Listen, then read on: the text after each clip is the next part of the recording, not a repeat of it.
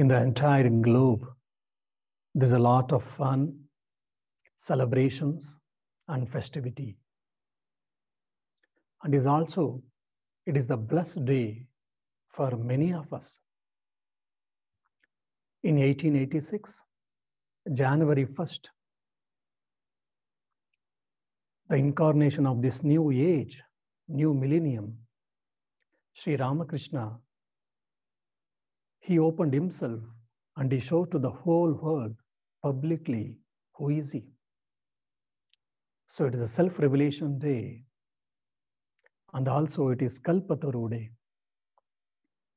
On this day, Sri Ramakrishna blessed around 30 devotees were there around in the Kashipur. He blessed everyone and fulfilled all their desires and prayers. Let us all go to Ment abode called Kashipur, which has got a beautiful gardens, a small pond where there are a good amount of fishes. In and around pond, flowers, dahlia flowers, rose flowers, and so many other varieties. And also there is a mango tree and some other fruit trees too. Sri Ramakrishna, by accepting the sins of devotees time and again, as a result, he had got a sore throat. Slowly, it got turned into cancer, throat cancer. And he was unable to eat, unable to intake any food. Slowly, slowly, he was reduced into just skin and skeleton, bones. He had become too weak and he was unable to get up even. And January 1st, 1886, his health was a bit better, so he came down with the help of one or two devotees. Let us all imagine we have gone to Kashipur and we are witnessing this heavenly incident where Sri Ramakrishna is slowly getting.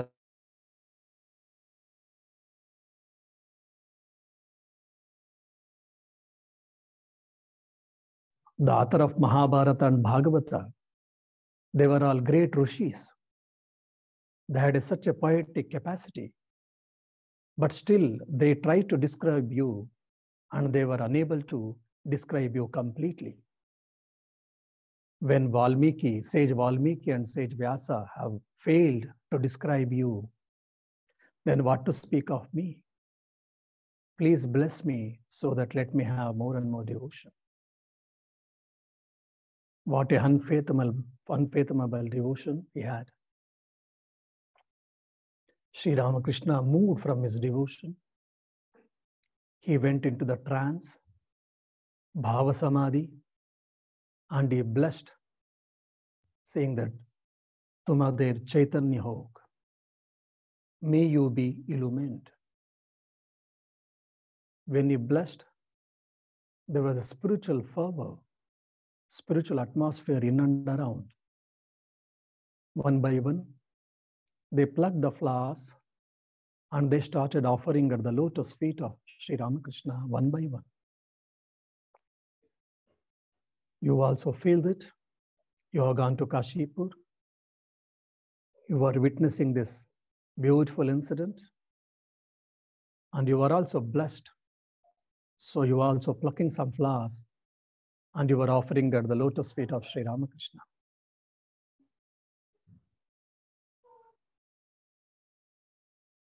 Sri Ramakrishna is blessing every individual. Some are getting the vision of their chosen deities completely. Then and there, some of them sat for meditation deeply. Some felt their Kundalini Shakti has been awakened and they're having divine experiences. As a result, some are shouting, Jai Ramakrishna, some are laughing, some are becoming mum.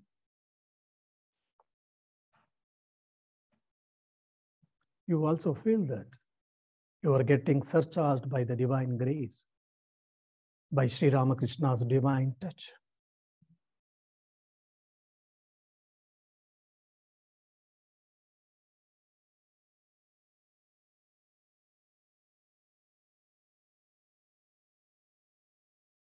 And some of them are shouting, Oh, whoever is nearby, please come. It's a wonderful thing. Please receive the blessings of Sri Sri Thakur Ramakrishna.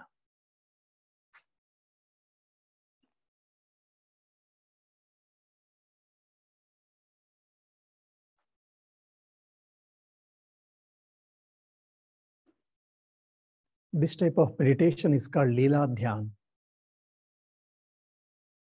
The sport of God, meditating on the sport of God.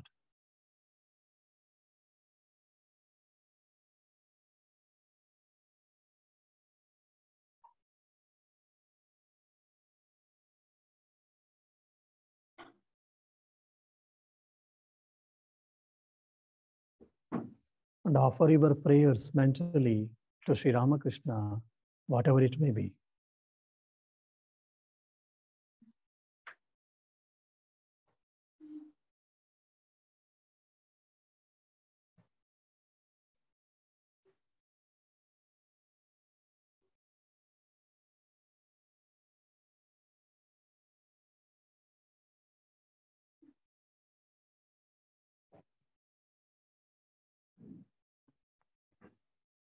Let us all feel that we are receiving the divine grace and we are feeling blessed and we are able to go further in the Godward journey or in our spiritual journey, manifesting the divinity.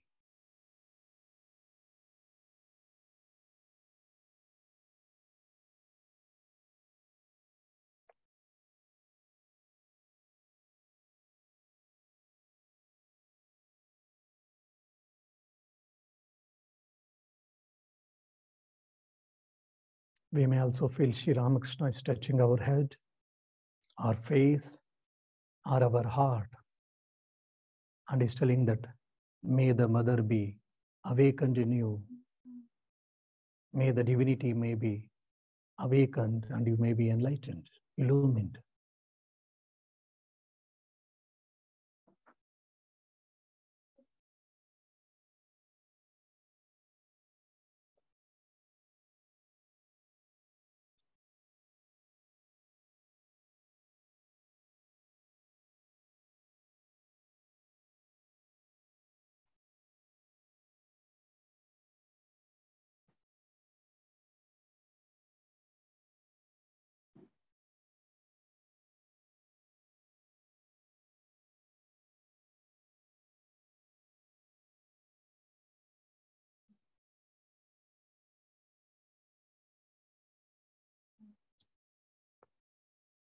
And let us walk with Sri Ramakrishna in that beautiful garden where it is a complete lushful green with some f- fruit trees and beautiful flower plants.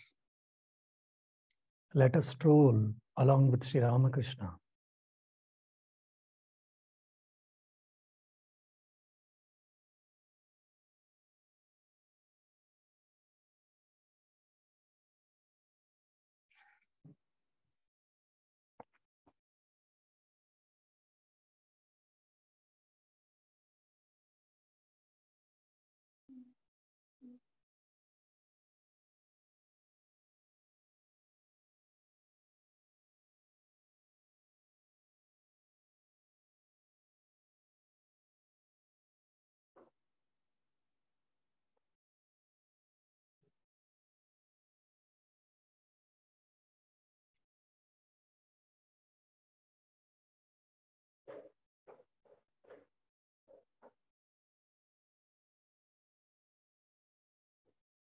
The whole atmosphere has become festive and spiritual atmosphere. The spiritual frequency is filled in the atmosphere so that we are able to feel that we are divine. We are not the body, we are not the mind, we are not the intellect, we are the self. Fill it more and more with the divine grace.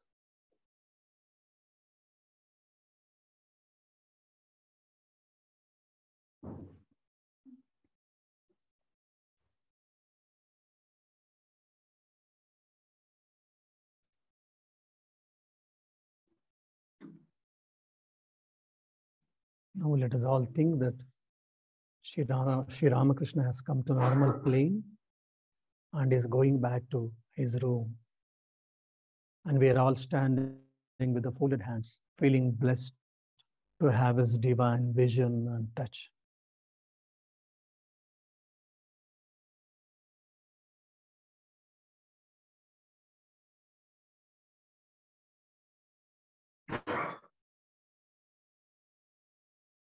Let us all chant five to ten times Omkar, having a deep inhalation. Oh.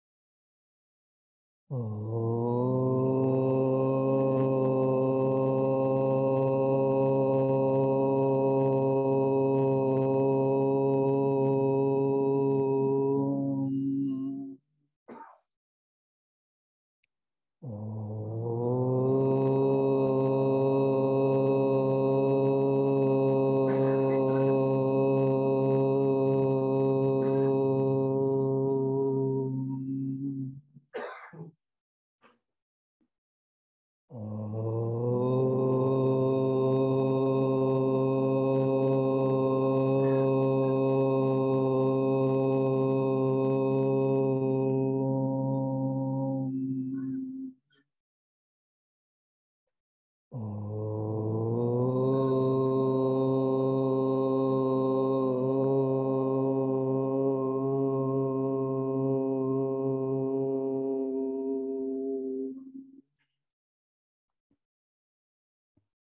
Feel that you are become your mind has become calm, quiet and serene. And it is soaked with the divine consciousness.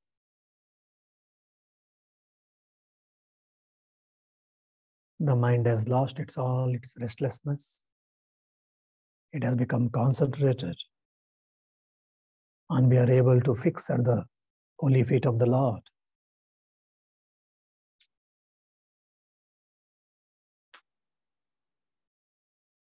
Let us offer our prayers, if any, to the Lord, to the divine.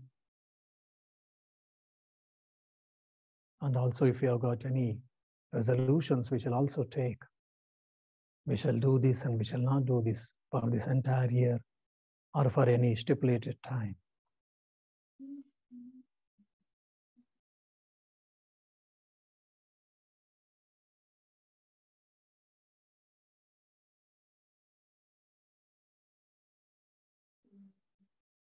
We may pray for peace, love, compassion, good health, God centered life, and cheerfulness.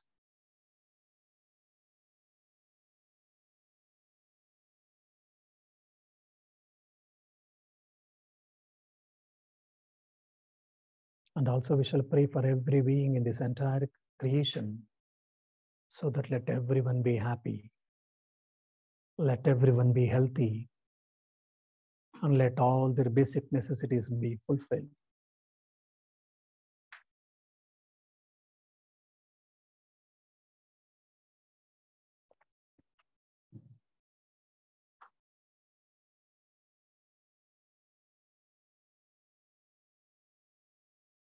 Om Shanti Shanti Shanti Hari Om Tat Sat.